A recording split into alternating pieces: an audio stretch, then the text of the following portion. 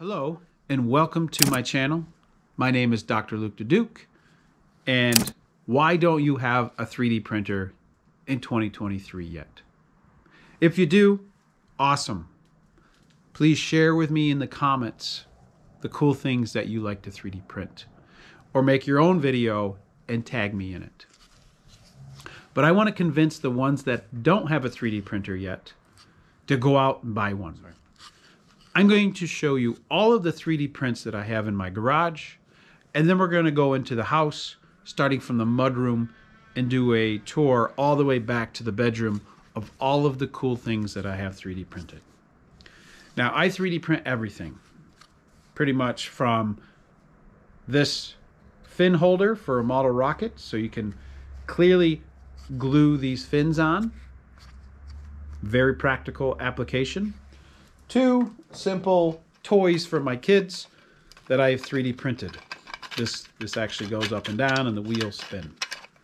Show you everything that I've got to convince you to go out and buy a 3D printer because they are the coolest thing to have around your house.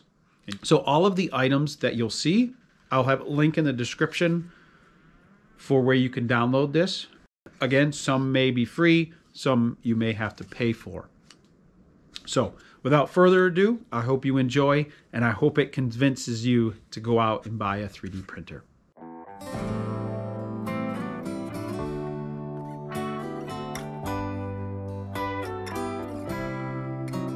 The first is this adapter that goes on your RC transmitter so you can hit the throttle and steer at the same time pretty cool. I use this when I go out to the track and I record so I can hold the camera in one hand and steer and hit the throttle with the other. Here's a white one. These I purchased from an online YouTuber. All right, next, I'll do that last. Next is a tip up. So here's a nice fishing tip up. And someone accidentally ran this one over with a four wheeler. so I just quickly designed like a, a U bracket that fit right around the two pieces and then hot glued and bolted it together. And it, uh, I do have to fix it. Some of the glue is coming off, but it's been like three years, so easy peasy. So the last thing here I want to show you are bass fishing trophies that I designed in 3D print. So this is basically an extrusion of a picture that they gave me during one of the fishing tournaments. And what I do is I basically extrude it out at different extrusion levels, 3D print it. This year, I took the lithophane idea and I took the image and I 3D printed it so you could insert it. And then up here in the light, you can see the image that I used. So this year, this is what they're going to get. So something I like to do every fall. Up here, there's a 3D printed little turtle that I had, uh, I printed for my dad. He ended up painting it. This right here is a bookshelf. These are all binders of my RC car manuals. Uh, I've been organizing, so uh, these will hold up the magazines or the binders once I get those organized. Over here, this black container, I'll bring it over here to the bench. You see there's numbers. this I got online from another YouTuber because he, he did like the top 20 cool 3D prints. But basically this will measure the different bolts that you use in metric. We'll measure this actual diameter and the length right here. So I keep this here when I need to use it. This is pegboard, and there's tons of cool things you can 3D print for pegboard. But I 3D printed some blue clips that are holding up all the tires and stuff, um, the pinions. Up here, little purple containers, the whole little things I haven't really figured out what I want to put in there, but I 3D printed a bunch of them.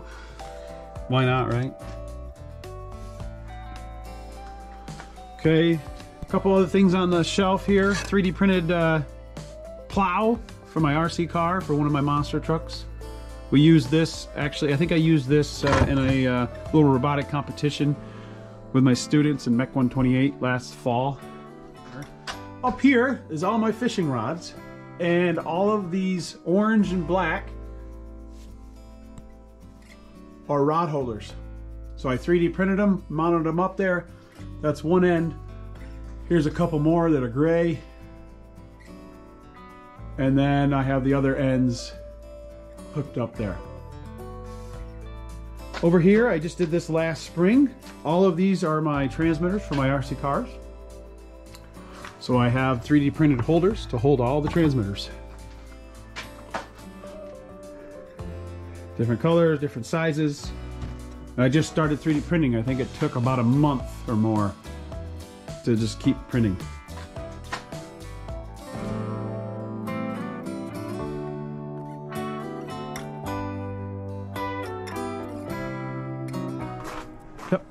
Some of my gutters holders are 3D printed. I designed them, 3D printed them. So some are, are shaped like that, while others, go over here, see that one's a little thicker. That was like version two, but look, they do snap, but I can just unscrew it and pop a new one in. See, I have them all the way down here. Because why not? oh yeah, this is right. Uh, I'll have to 3D print this again, but I 3D printed this cover right here. That's kind of smashed. But it would go from this square stock to the pipe.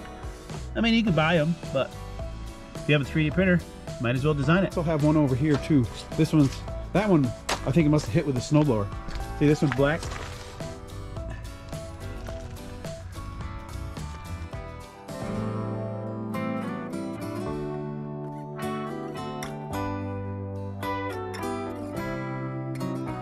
Okay, let's walk right into the mudroom. You'll see up here we got uh, two AA battery holders that I've 3D printed. These two I usually bring outside in the summertime, but the wintertime I bring them right here. And then as we go over here, across, we got more AA battery holders right here, and then we got a AAA battery holder. And then over here we got uh, Live, Love, Laugh decorative for the wall. And then under here you'll see some shelf brackets that I've 3D printed to hold up the shelf. So here's the mudroom. Now let's head into the kitchen.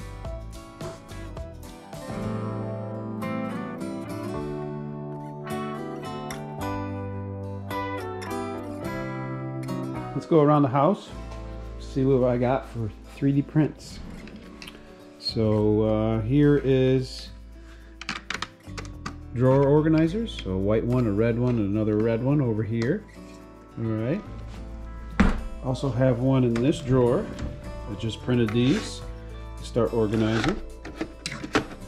So we got these two sizes here. This one, we got the chalk holder, an eraser holder. This again is just downloaded, printed.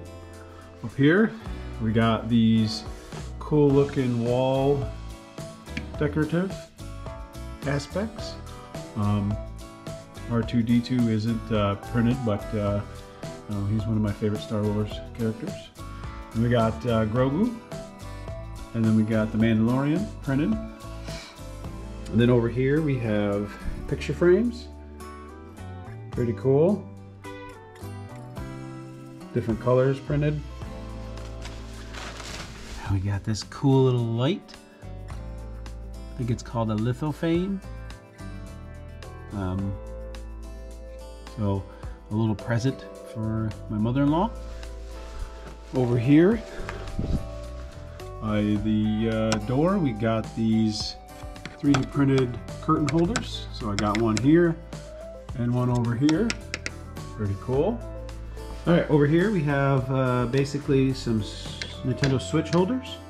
And then here we have a phone holder. This is pretty cool. This one goes in here. All right, so another awesome part of having a 3D printer is you can make 3D prints of RC crawler equipment. So here is, uh, we do a lot of like 124 scale crawling in the house in the winter.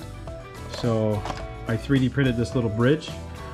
It, these files that you'll see here, I actually purchased the STL file for.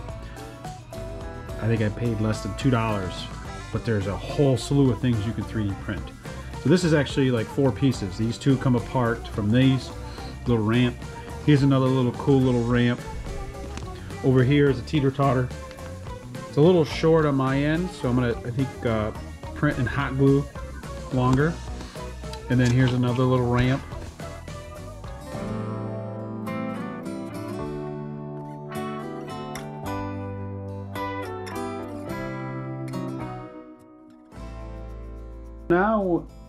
You've seen a lot of the stuff in the other rooms. We remodeled this room and painted it last year and I'm just finally being able to put stuff back up. So let me show you some cool things. So here is the uh, Mandalorian Nerf gun, but I wanted to mount it on the wall, so I 3D printed these black holders. So one here, one here, and then these Nerf are mounted, 3D printed with this Nerf holder. It actually comes out, and I hot glued it right to it. But I had them. Again, found these online. I didn't design those. Then over here is the retro cabinet. This one I'll have a video on for full details, but it's packed full of retro gaming and I have 3D printed holders. So here holds the gun, a little uh, hook, eye hook, holds the controllers. Let me turn on the light here so you can see. See? controllers. Over here, turn the light on. got these little lights that turn on. 3D printed controller holders, GameCube holders, Wavebird holders, and pretty much, as you can see, game holders, more Game Boy control, Game Boy holder, controller holders. I'll go in more detail in the next video that I have in a few months. All right, come over here to my bench. So over here on my bench, and this is where I do all my video editing. I like to have stuff to kind of play with while I'm editing. this I designed. This is a three-tier amiibo holder. Over here I got from um, Thingiverse to hold just a couple amiibos. Over here is a date calendar 3D printed. Pretty rad. Then up here you got some more amiibo holders for the wall. I, this was white, I painted it, 3D printed to hold like, it's like a Mario thing. Here is basically Samus's ship. This is 3D printed. This again I got from the amazing community. This one took over two days to print and it had a lot of uh, support in the bottom so I had to be very careful. I love that. I just got to paint that. And then this over here actually holds like baseball cards or whatever Pokemon cards that you want and just to put packs in. I thought that was kind of cool. Over here, these uh, Pokemon display things I designed and actually uh, with an alumni Jared helped me finalize those. And uh, my new printer was able to print if you notice the white and the black two layers and then we just painted that red. So different different shapes different iterations. I'm not sure which one I like the best. Up here uh, the Star Wars figurines are not 3D printed but these are again got from Thingiverse to hold it looks like it's coming right out of the wall I love it over here are the amiibo stands or amiibo holders and uh, to help support online you can get these little uh, brackets. This one's Batman. I got Batman up here, same up here. And then above it is like a little uh, octopus arm. Now over here by my bedside, I 3D printed a remote holder and just put some command strips down here so I can put all my remotes in there. Now another thing that I have in the bedroom and actually all the bedroom closets are these adapters to make it look better than the actual cut end of the piece of wood. So I 3D printed these, I designed these. That you can just pop on and slide right over. And it makes it look so much better in the closets.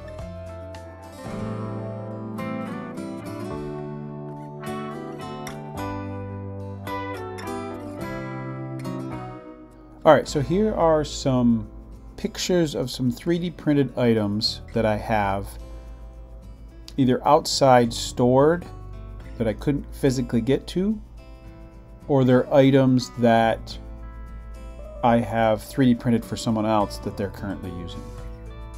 So first up are 3D printed funnels.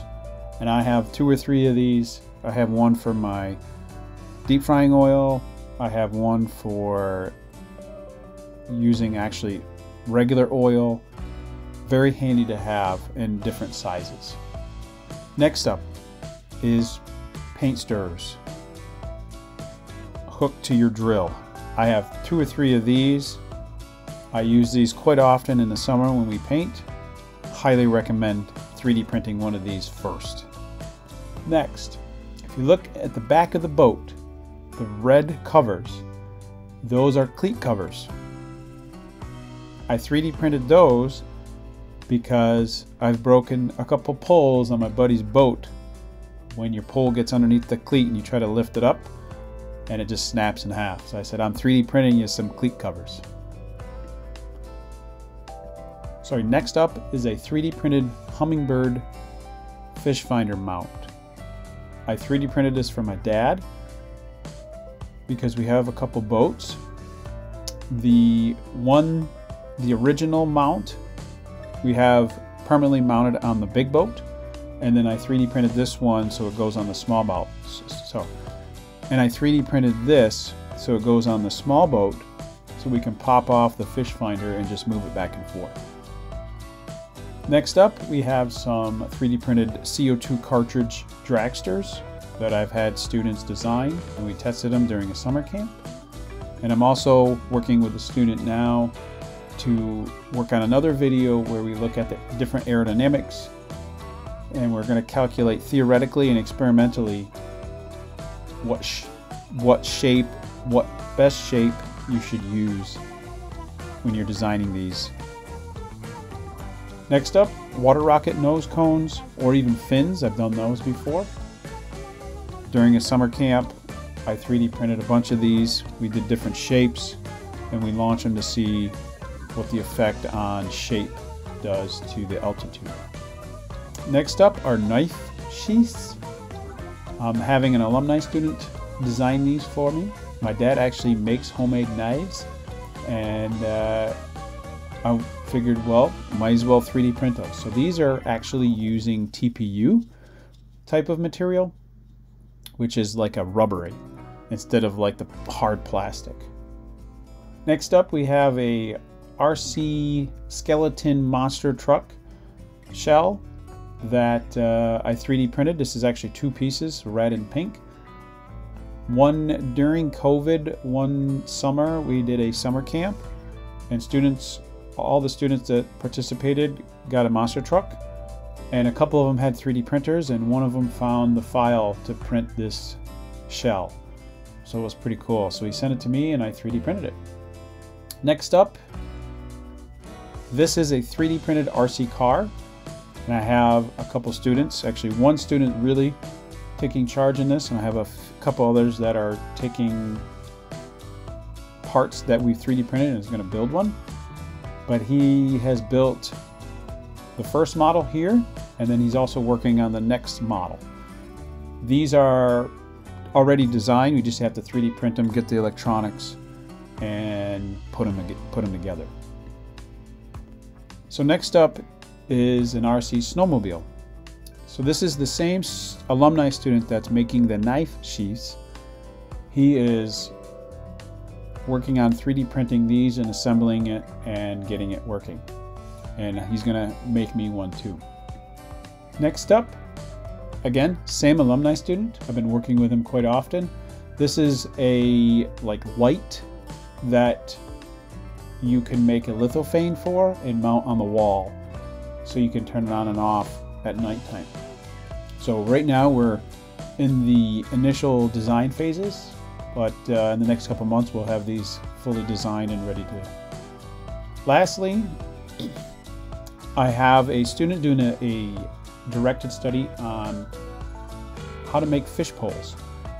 And I said, well, instead of buying the parts at the end of the fishing pole, let's 3D print our own designs. So you can see here, there's a fish at the end, there's a bass picture. We can do different colors. We're gonna do different outside um, designs. Mine's gonna, mine's gonna say Dr. Luke the Duke. It's either gonna be extruded or engraved in. So these are, again, work in progress. Hopefully in the next couple months we'll have these. All right, hello again, and here is the conclusion of the video. I hope you enjoyed the tour of the 3D prints from my garage to outside and throughout my house. And I really hope it has convinced you to go out and buy a 3D printer. So I will have links to all of the 3D prints that were shown in the video. I will also provide a link to my favorite printer, the Ender 3, where you can buy it, and any associated links to get you started. And I will eventually be making a quick tutorial video if you do buy an Ender 3, how to get started on your first 3D print. So look for that. All right, best wishes and take care. Bye now.